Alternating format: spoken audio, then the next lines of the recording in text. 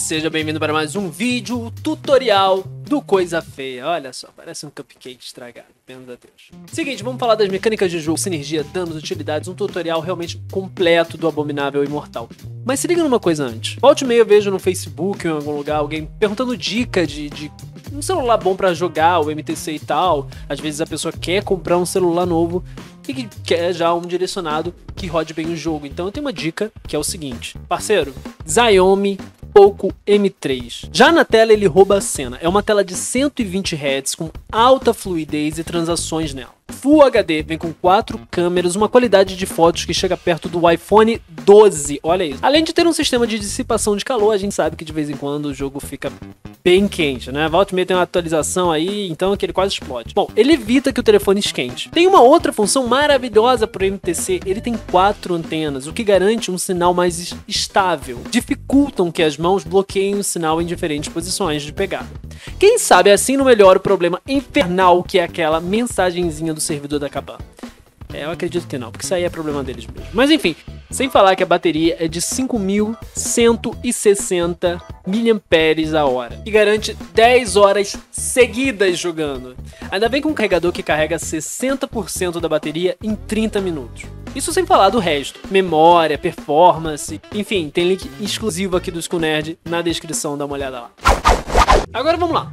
Cada detalhe do campeão, mas é o seguinte: se você estiver muito ansioso, tá com pressa, acabou de tirar ele no cristal, quer saber já o que tem que fazer, o que tem que usar, como é que é, que é o dano, que quer ver as coisas, tudo, acessa o link aqui do cardzinho, que você vai direto pra parte aqui do vídeo em que tem a mecânica básica dele. Ou você pode ficar aqui e assistir o vídeo todo para saber por que jogar desse jeito, o que ele faz, qual o dano, utilidade, sinergia, cada detalhe dele.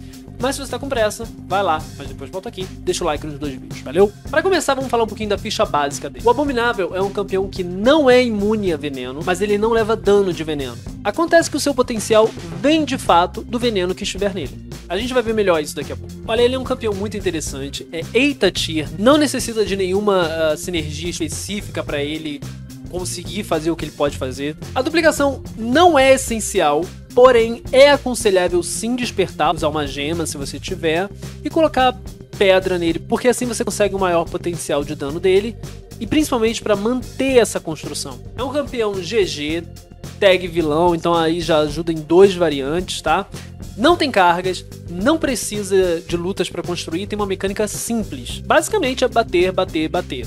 Mas vocês vão ver que no caso dele até apanhar pode ajudar. Então antes da gente ir para a parte prática de como ele tem que funcionar no, na luta, vamos dar uma olhada na parte teórica, na ficha. Vamos entender o conceito desse campeão e suas características. Duas coisas que precisamos entender primeiro antes de falar dele para a gente não ficar perdido é aura tóxica e queimadura ácida. Isso é algo que você vai aplicar no seu oponente. Mas preste atenção que enquanto o seu oponente estiver com essa queimadura ácida, todos os seus ataques vão ser não bloqueáveis, o que é muito legal. Outra coisa, ativar isso também inflige um petrificar no seu oponente. Já a aura tóxica é um efeito que acontece no próprio abominável. Enquanto ele tiver com essa aura, ele vai aplicar no oponente uma debilitação de veneno por segundo. Ele vira uma espécie de Omega Red de veneno. Ele pode acumular essa aura tóxica até 4. E quanto mais você tiver, cada acúmulo além da primeira aura vai acelerar a velocidade que ele inflige o veneno em 25%. Agora vamos falar um pouco das suas habilidades. O contato com o oponente, seja batendo ou apanhando, ou mesmo bloqueando ou batendo no bloqueio,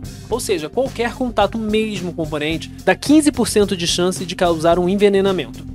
Se você acumular 10 debilitações de veneno no oponente, automaticamente elas serão convertidas em uma queimadura ácida passiva. É assim que você coloca no oponente essa queimadura. Durante a queimadura ácida, a recuperação de saúde do oponente é reduzida em 30%. Agora veja bem, o Abominável tem uma mecânica de autoenvenenamento. Como eu disse, ele tem as suas habilidades aprimoradas quanto mais veneno tiver nele. Sem despertar, o máximo de debilitação que podem ser acumuladas são 10 quando despertado, o limite sobe para 12. Você ganha essas debilitações batendo ou apanhando. Sempre que completar 10 hits, você ganha uma debilitação. E não se preocupa, isso vai te causar zero de dano. E quanto mais tiver veneno nele, mais resistência física ele tem. Enquanto envenenado, cada golpe que ele bloqueia, ele aplica uma fraqueza no oponente, o que é muito legal.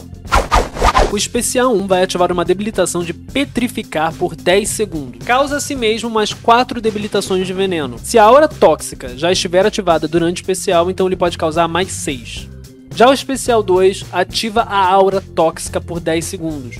Essa aura tóxica vai consumir uma debilitação de veneno no abominável a cada 2 segundos para se manter ativa. Esse consumo é pausado durante os especiais. E é aqui que a gente tem a mecânica de manter a construção dele.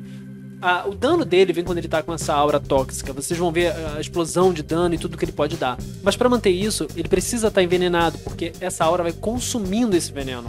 Então é interessante, quando você vê que ela tá acabando, você soltar outro especial ou você conseguir se auto-envenenar o maior número de vezes possível. Assim você consegue manter essa aura, entendeu? E o especial 3 inflige a queimadura ácida. Cada acúmulo de aura tóxica inflige um efeito de queimadura ácida. Até a próxima vez que a aura tóxica expirar, ela é melhorada e aumenta em 0,5 segundos o tempo que leva para consumir o envenenamento. Ficou um pouco confuso até aqui? Relaxa. Agora na prática você vai ver isso acontecendo e eu vou explicar de novo. Mas antes vamos falar da habilidade característica dele rapidinho. O limite de acúmulo de veneno nele mesmo vai aumentar para 12, o que já ajuda você a manter a aura tóxica. E você já vai começar a luta com 3 debilitações de veneno. Além disso, os efeitos das suas debilitações vão aumentar em até 30% se ele estiver no máximo de duplicação que é x200. De novo, tá confuso? Beleza. Foi a parte teórica, vamos pra prática. Mas para liberar essa parte do vídeo você tem que deixar um like. Ajuda a compartilhar, dá para aquele amigo que não sabe usar o Abominável, manda para sua aliança, enfim. Tô começando aqui uma série e ó, vai ter esse tutorial completo de todos os campeões do jogo. Serão 192 tutoriais. Bom, 192 porque no momento é o que tem, vai ter mais que isso, né? É, deixa o like aí, por favor, para dar aquela ajuda. Se inscreve caso não for inscrito, é um canal novo aqui, beleza? Então, galera, é o seguinte: como eu expliquei, o maior dano dele vem da aura tóxica. Então, a primeira coisa é buscar ativar isso. Para uma luta rápida, o caminho mais rápido é o S2. Então é a primeira coisa que a gente vai fazer. Cada vez que você vai batendo no oponente, lembrando 15% de chance de envenená-lo, bloqueando também cada contato, ok? Então assim que ele estiver disponível e você soltar o S2, pronto, você ativou a aura tóxica. Agora tem que ficar ligado. Duas coisas. Primeiro, com ela ativada, você vira um Omega Red de veneno. Você vai envenenando seu oponente quando estiver próximo a ele. Mas essa aura vai consumindo o veneno que estiver em você. Se ela consumir tudo, ela vai acabar. Então você tem que dar um S1, ou é o mais indicado, para você colocar 6 debilitações de veneno em você mesmo. Como eu disse, com ela ativada são 6, 100 são 4. É como a Capitã Marvel na fase binária dela você fica dando pesado para dar um refresh na, nas cargas dela. E essa é a mecânica básica que você vai fazer com ele. Você também pode já começar ativando um S3 e depois dando um S1 para você manter, depois você pode dar um S2 de novo. Também é legal você tentar acumular quatro uh, auras tóxicas e queimadura tóxica no oponente, porque assim você vai dar aquela explosão de dano. Mas a mecânica básica é essa: S2 e S1 ok. Nas partes das sinergias ele não tem nada que chame muita atenção. Ele tem uma sinergia com o Red Skull, né, o Caveira Vermelha, que acelera a construção de dano dele. Mas não é nada essencial. Galera, espero que vocês tenham curtido esse formato novo de vídeo, esse formato novo de tutorial. Os reviews antigos que eu fazia lá do, do, dos campeões eu não gostava muito, eu achava confuso. É por isso que eu até mudei o nome agora para tutorial, porque assim, é realmente um tutorial. Eu vou falar passo a passo de cada campeão de sinergia, como funciona, o que fazer, como construir o dano, cada utilidade que ele pode ter. Então você, por favor, deixa o seu like para dar aquela força aqui no canal, confere se você está inscrito. Esse aqui é um novo canal, tá? Esse não é o School Nerd, esse é o School Nerd MTC. Eu fiz esse canal só para MTC, ok? Mas não se desinscreve do outro não, por favor, deixa um like lá também de vez em quando, dá uma olhadinha nos vídeos nerd que eu tô fazendo lá. Valeu? Se você curtiu muito esse conteúdo e você quer dar uma força maior pro canal, olha, tem um potezinho de gorjeta, o link tá na descrição, ou você pode ver lá na capa do canal também. Tem o, o símbolozinho da Nubank, clica lá, pode doar alguma coisa, quanto você quiser, é uma gorjetinha mesmo, valeu? E se já estiver disponível, porque quando eu tô gravando esse vídeo ainda não está, Vire membro do canal para ter acesso aí a uns benefícios extras, ok? Eu quero saber a sua opinião sobre esse campeão e sobre esse formato de vídeo, então você, por favor, comenta e me responda qual próximo campeão que você quer um tutorial completo. Se liga que tá vindo muito mais vídeo conteúdo aqui no canal, valeu? See ya!